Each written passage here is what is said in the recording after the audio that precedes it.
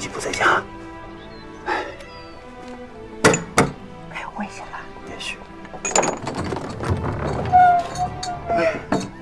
他嫂子，书记忙着呢，你们回去吧。哎哎，别，哎，要不咱再给他跪一次啊？反正你再还敢跪？你还敢跪？你忘了那天？要不然等书记消消气，咱们再想想啥时候再过来再给他赔罪。那幸福那边怎么办呢？他不依不饶的，这边又没办下来，这不两头受气吗？我在想啊，那不行吧？咋不行？哎不用你的钱，用我的。你的钱是哪来的？那还不是我的呀？你咋就知道钱呢？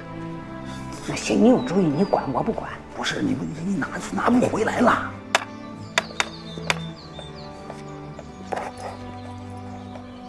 幸福，来，跟你说点事儿。啥事儿？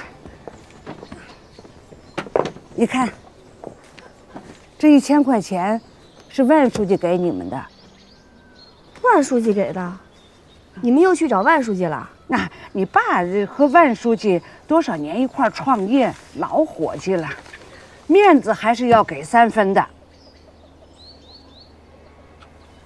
这给钱干啥呀？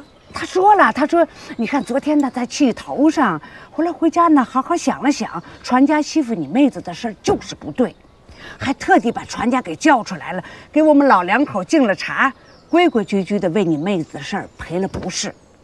他说这是一点心意。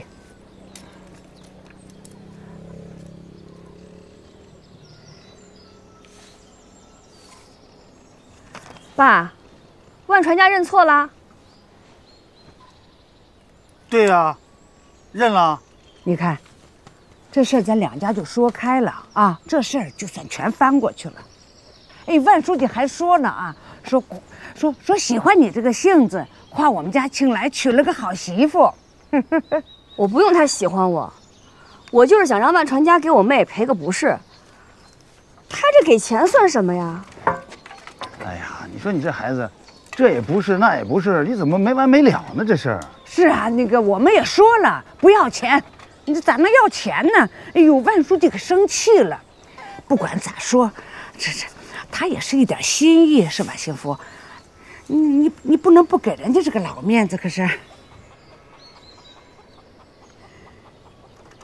你看，就这样，万书记说了，说到此为止，这事儿就算过去了，挺好的，是不是？咱往后一个，咱咱咱踏踏实实的过日子，都都好，没这事儿了，以后谁都不提这事儿了啊，没事儿了，没事儿了。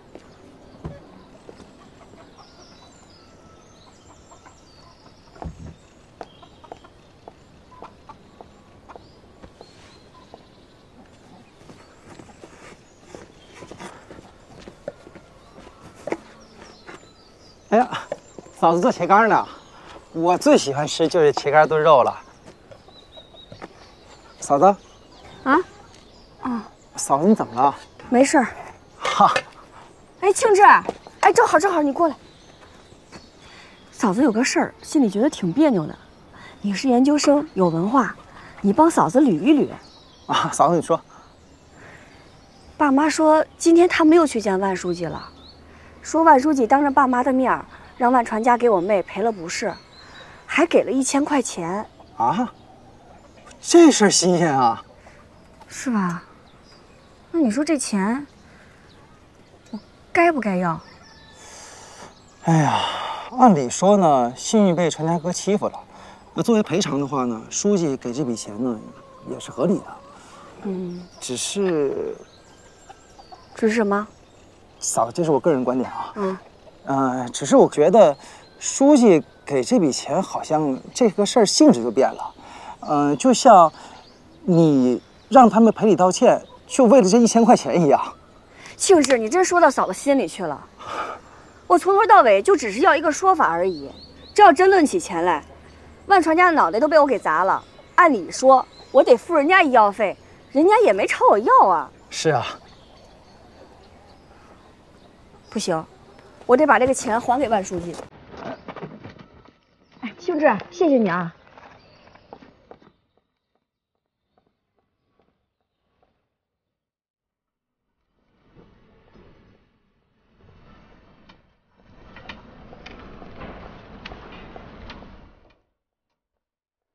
我打死你个小兔崽子你！爸你有事说事呗你打我干嘛呀？说事你要活活气死我呀！我啊，就你有学问吗？啊，什么叫收了钱？他追我们，你快点！拿了钱性质就变了。妈，你这真的是个馊主意！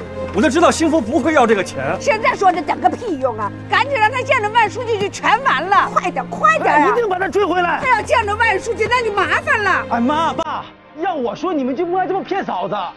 哎呀，哎呦我的妈！打死你！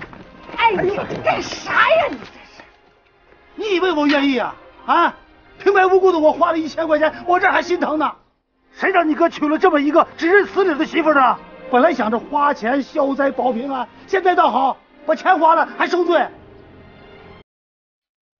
都是你出的馊主意，你咋不给他两千块钱呢？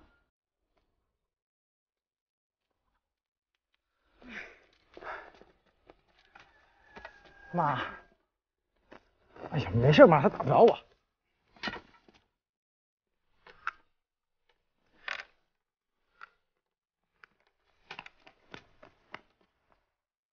哎，彩玲，嗯，时间还早，你先别回家，跟我去趟集团。哎哎哎哎，啊，行行，万书记，万书记，等一下。就是你，什么事啊？万书记，船家已经给我妹赔不是了，这钱我们就不要了。哎，幸福幸福，妈叫你回去，快快快！等会儿，这说话什么意思？我没听明白。万书记，我知道这是您的一份心意，您的心意我们领了。我们不是奔着钱来的，船家已经给我妹子赔了不是，认了错，我也算是跟我妹有了交代。这钱您收回去吧。幸福，赶紧等会儿起来，你这大白天说梦话呢吧？谁给你们家钱了？你不是让我婆婆给我一千块钱，说是给我妹赔罪的吗？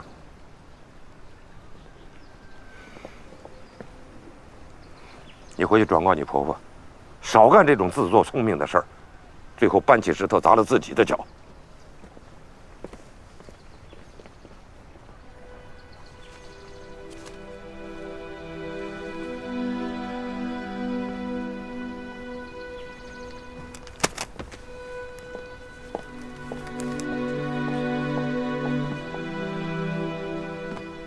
真行啊！居然用这种方式来骗我，我还真就信了。你说这事情都已经发生了，他赔不赔不是，他还有什么意义呢？不就一句好话吗？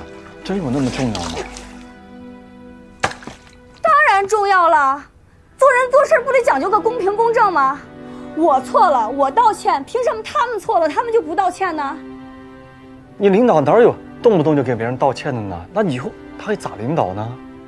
幸福啊，真的，别闹了。你现在是王家的人了，你不能脑子里只有你妹子吧？就你说就因为这么点事儿弄得鸡飞狗跳的，那那以后的日子还怎么过呢？咋过？逆来顺受的过，自欺欺人的过。逆来顺受怎么了？人活世上谁不受委屈？我爸、我妈还有秀玉，不都因为这个事儿受委屈了吗？